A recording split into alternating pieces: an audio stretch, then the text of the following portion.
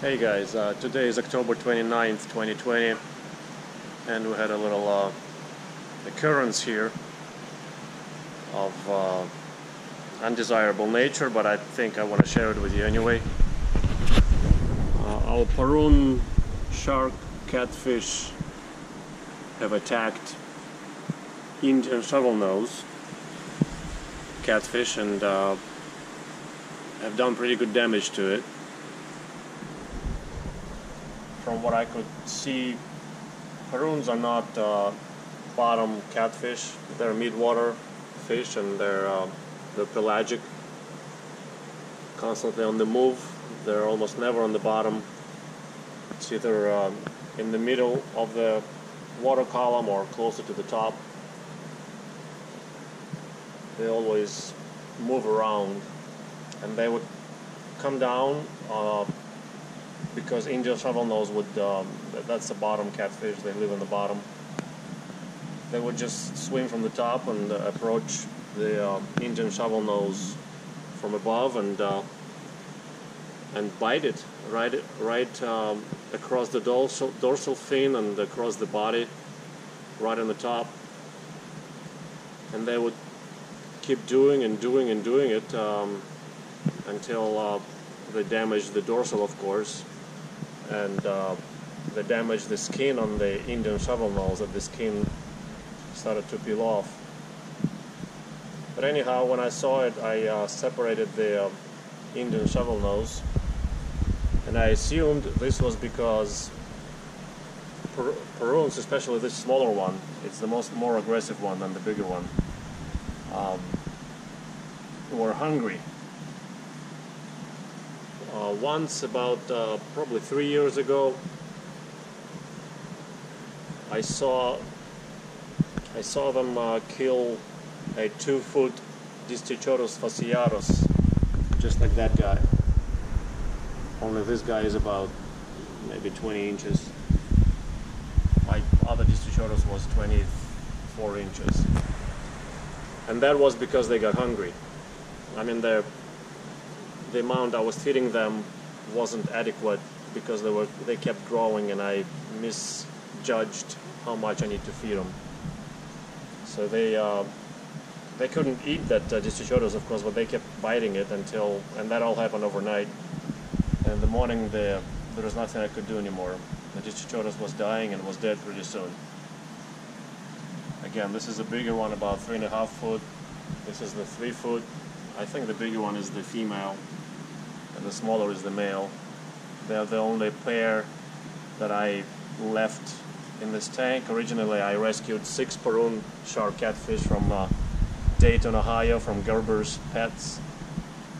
That's where they came from in March 2016, at about one and a half, two foot length. So they've been with us, um,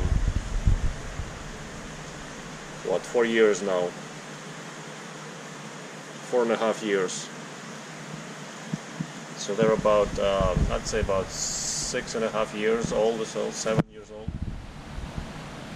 They were badly stunted anyway at Gerber's. They had them there for a long time in a smallish tanks. Anyhow, so uh, I thought that was because of the feeding again. Not enough food because of the hunger. So I gave uh, them a lot more food that, that day and they ate their fill and I th thought that that would be fine. But in the morning again there was more damage on the Indian shovelnose. So this time around it wasn't just the uh, the hunger. I don't know why they kept biting it even though they were a fool.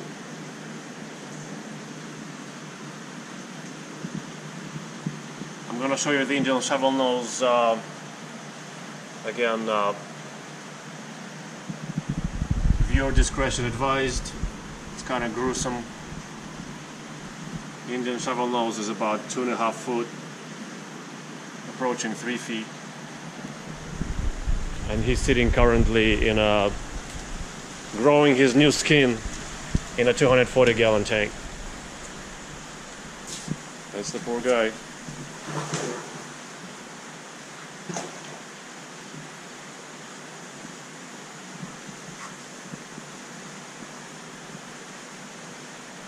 Usually it's no biggie for catfish to lose that much skin. They will grow it back just fine. So I'm not too terribly worried about it. Of course it breaks my heart to see the fish like that. But uh, trying to do honest reporting here and uh, so oftentimes it happens like that when you try to come together fish that uh, that can do such damage to each other in uh, confined quarters. It's always um, vigilance and it's always a concern. It always uh, you always have to observe closely what's happening in your tank uh, at the feeding and outside the feeding. That happens to avoid stuff like that. But uh, all in all, um, our hobby is, as I like to say, it's a gamble. You never know what uh, really will happen and often you can only analyze things in the in the retrospect looking back 10 days later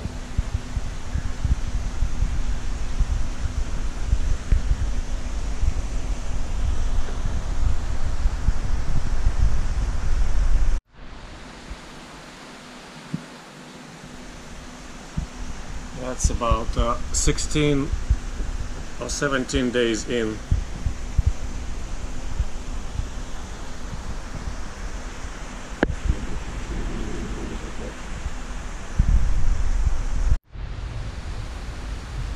That's three weeks.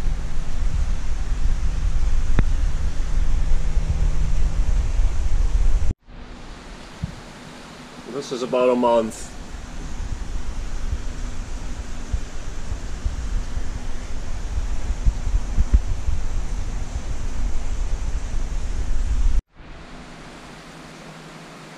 He's been in here for uh, over a month now and looks more or less healed and I'm gonna try it again in the 4500 gallon where it come from. I just added uh, clove oil about uh, three droplets to a gallon three four so uh, the catfish is more or less anesthetized but uh, still moving. I'm afraid to go farther and overdose. So we're gonna scoop him up and put him back in the 4500 gallon.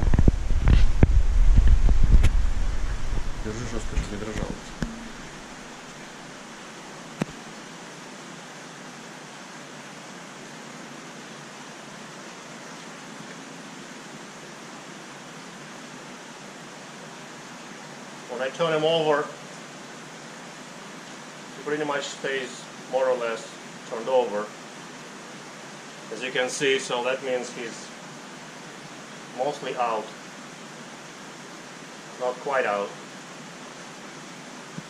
The reason for uh, for using clove oil is because I was afraid he would thrash around and, and uh, break this 240 gallon glass tank. If he hit uh, the panes hard enough I think he would separate a seam so that's why I'm using clove oil to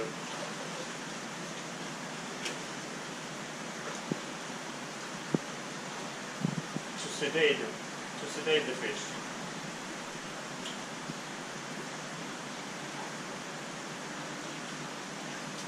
Yeah, that's piece of cake as, as to how it usually how it usually proceeds.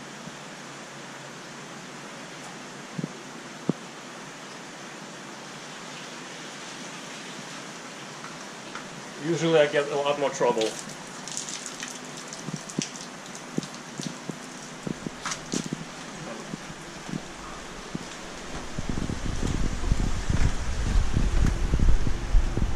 go back to his home. I started feeding the Paroons much better, as best I can. So hopefully Paroons will leave him alone now.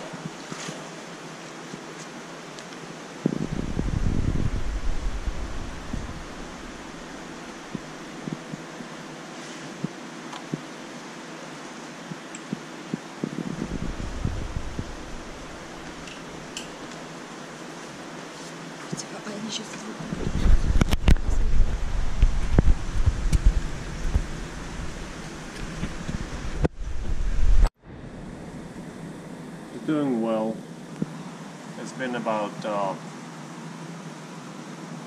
two hours since we transferred him back. The Indian shovel nose is okay. He came he came to it probably in about two or three minutes, maybe five minutes after we took him out of the clove oiled water into this uh, clean water.